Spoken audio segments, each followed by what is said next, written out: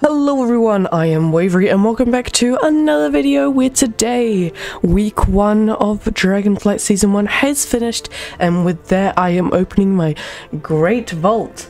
This week I have completed a plus 13, around 4 plus 11s and multiple plus 10s.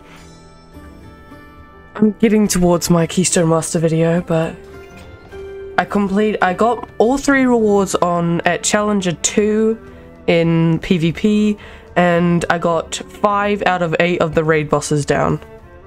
So that's 2 slots. And without further ado, let's see what I got. Please, please, please best weapon. Please. Is it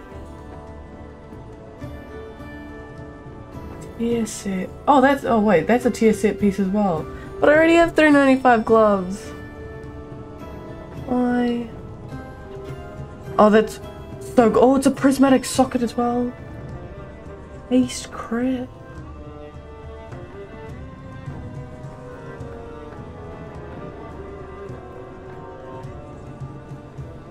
The, the tier gear.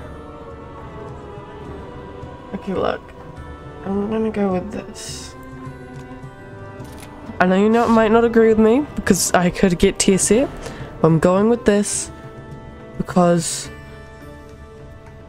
it's just I need the item level upgrade. I need this, the haste. I need the prismatic socket for so I can get my mastery and cinema. I just need the upgrade entirely. This is just so much better. Plus, the inspiration catalyst will open in a few weeks.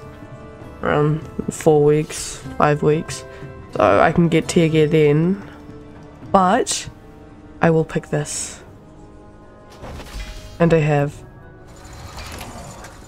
So what is this rip? Finest goods in the Isles. Oh, oh, this is here again. Contains 10 primal chaos. Ah, okay, it has that's good. Alright, let's equip the item. I'll replace it for... Um...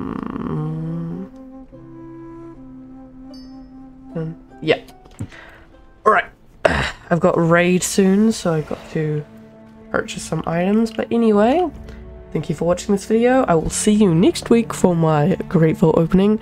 I am now item level 389. Thank you for watching. I'll see you on my next video.